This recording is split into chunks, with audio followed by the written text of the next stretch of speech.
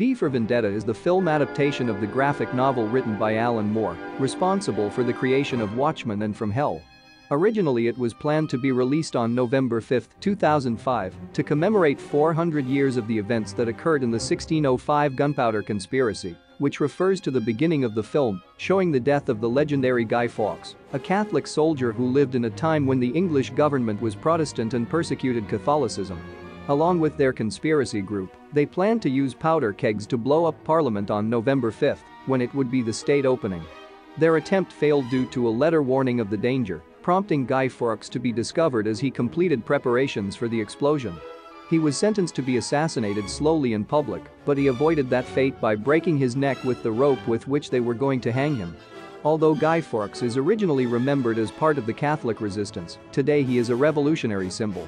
Today we will analyze the socio-political and religious burden, the literary references and the filmmaking of V for Vendetta.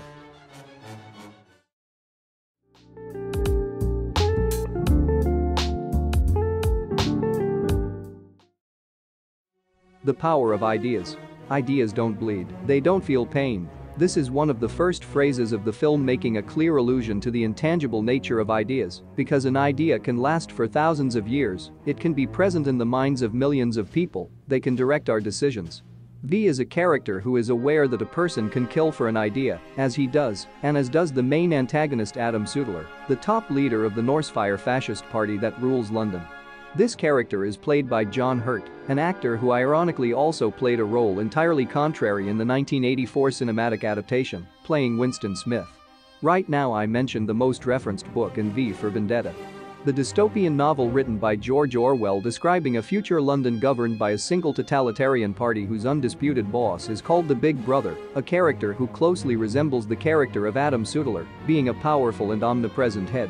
In 1984 the presence of posters everywhere is reported with phrases like war is peace, freedom is slavery, ignorance is strength. Something similar occurs in the film with the posters on the streets, with phrases like strength through unity, unity through faith. The importance of belief in God is a recurring point within the party. The presenter of the program tells the people that the problems that occur are due to the lack of God and uses the message of unity as an excuse for homophobia, xenophobia, and basically whatever is different from what the party thinks.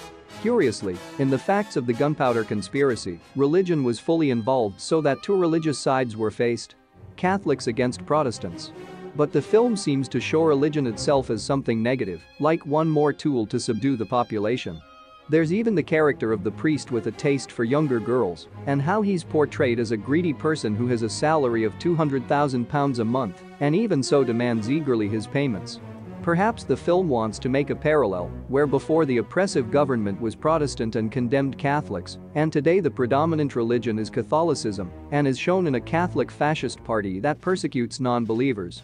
This is quite interesting if we remember the anarchist position of protagonist V, and that anarchism is strongly associated with atheism, as an anarchic motto well says, neither master nor God. One criticism made by creator Alan Moore towards the film was that instead of focusing on the fascism versus anarchism conflict, it focused more on liberalism versus conservatism. Perhaps this is most clearly seen in the persecution of homosexuality with the story of Valerie and her girlfriend. Of course, a conservative party is not necessarily going to pursue homosexuality, something a fascist party would do, but it does reject it and adheres to religious values, and on the side of liberalism, it is characterized more than anarchism and fight for the sexual freedom. However, this theme has more prominence in the United States than in London, since by 2005, England was more advanced in matters of sexual freedom than the United States. To start talking about aspects of filmmaking, the color palette on the film relies more heavily on black and red for key or most characteristic moments. Colors present in the Norse fire match, in the clothing of the main character when coupled with the roses he leaves by murdering someone, and in the bloody combat near the end of the film. They are even present in the symbol of anarchism. Regarding the cast, the actor who plays V is Hugo Weaving. The same one who played Agent Smith in The Matrix, directed by the Wachowski sisters. This time, the sisters took over the script of V for Vendetta and trusted Weaving after having worked together before. The actor had to adapt to acting wearing the Guy Fawkes mask all the time, although later in post-production he doubled his voice. On the side of Natalie Portman who plays Evey Hammond, she had to learn to speak with a British accent and investigate about prisoner experiences. Before continuing, let's see some planes and camera movements that the film uses.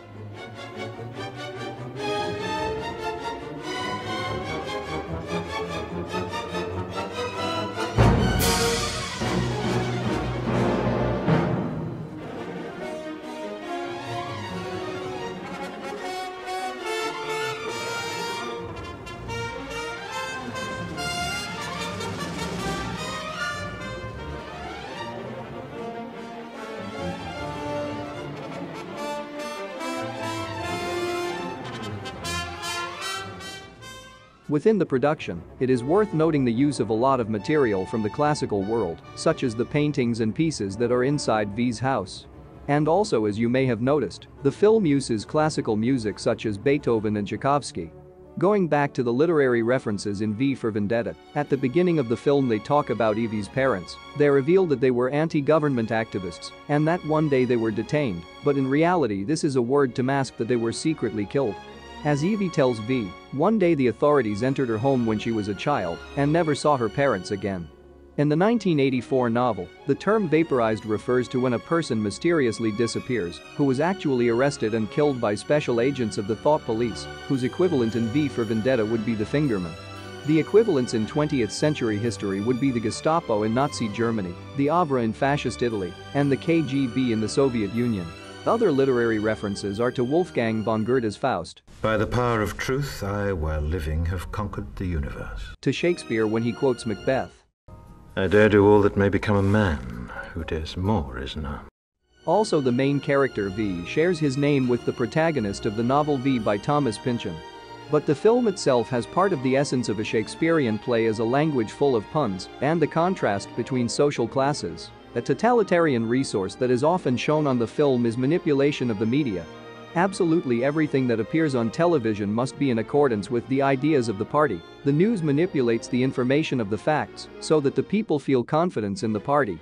When the government's credibility is threatened by V, the party bombards the media with news of lack of resources, wars outside the country, and the arrival of new viruses in order to make the people feel they need their government. However, at this point in the film, the citizens do not believe what they see in the media and start the social conflict.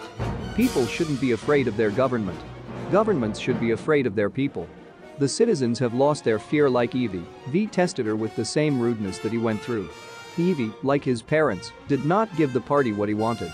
This becomes the key moment in the evolution of her character. The entire plot of the film is born from Norse Fire Party plan, in which to create a virus in order to develop biological weapons. The antagonist is responsible for spreading the virus through the St. Mary School, the Three Waters water plant and a train station. Everything for the population to panic and for the party to gain power. Fear is the most widely used resource for submission. V was part of the party experiments and survived with greater physical and mental abilities. V wants to destroy Parliament, just like Guy Fawkes, because Parliament is like a symbol and it has to be destroyed. In the end, the idea of V is present in all citizens. As Evey said, Here's you. And me. Here's all of us. now, everyone will remember the 5th of November. That's all for today. If you liked it, don't forget to visit the channel and subscribe to support this content. Thank you very much for watch.